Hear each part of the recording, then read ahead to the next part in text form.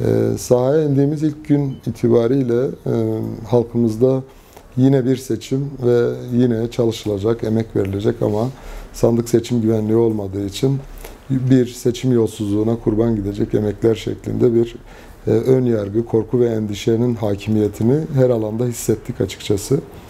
E, biz de ilk günden bu yana halkımıza hep bir söz verdik. Dedik ki canımız pahasına da olsa sandık ve seçim güvenliğini koruyacağız ama bu sefer halkımızın iradesine gölge düşürülmesine dair e, birilerinin hazırlık yapmasının önüne geçeceğiz ve asla halkımızın iradesine gölge düşürtmeyeceğiz şeklinde bir ilk vaadimizi bu şekilde yapmış olduk.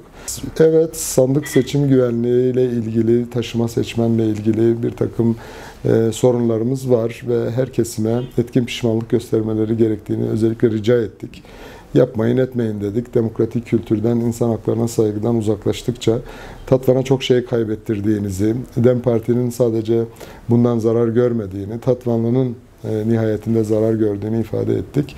Halen aslında seçim sandık güvenliğine ilişkin bir e, halel gelmemesi noktasında umudumuzu da e, korumaya devam ediyoruz. Uyarımızı da yapmaya devam ediyoruz.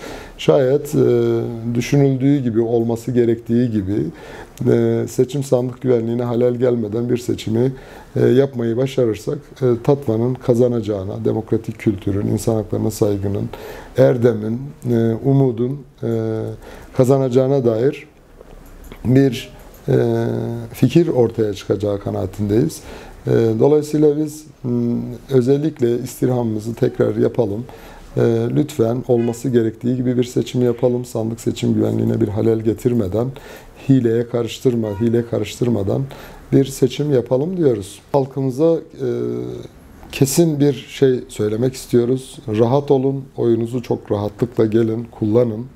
E, sen, sandık seçim güvenliği konusunda elimizden gelen tüm e, korumacı yaklaşımı sergileyeceğiz. Gerek her sandık başındaki görevlimiz, her sandık başımızda, başındaki en az 5 müşahidimiz, yine her salondaki görevlimiz, her okuldaki temsilcimiz, e, ve YSK'daki avukat arkadaşlarımız ve temsilcilerimiz yine sahada gün boyu var olacak 15-20'ye e, yakın avukat arkadaşımızla birlikte kesinlikle tek bir oyumuzu bile çaldırmadan koruyacağımız konusunda herkesin müsteri olmasını istiyoruz. Ve bizimle seçim günü de dayanışmak isteyen, müşahit olmak isteyen bütün arkadaşlarımızı da dayanışmaya davet ediyoruz.